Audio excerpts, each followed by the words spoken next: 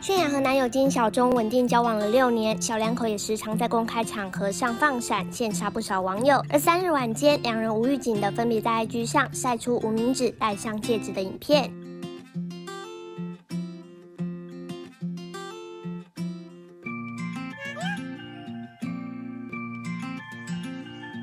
除了发布影片外，金小钟也在贴文中写下 “marry me”，而泫雅则是甜蜜回应，当然是 yes。接着他又发出对戒的照片，一个蓝色，一个粉色，并写下谢谢谢谢，一直都很感谢。过去泫雅曾自曝罹患忧郁症及恐慌症，以及一种神经性的晕厥症，但金小钟一直对她不离不弃，陪在身边照顾她。看到两人交往这么久，终于开花结果，也让粉丝都为他们感到开心，纷纷留言表示终于要结婚了吗？真的是太感动了啊！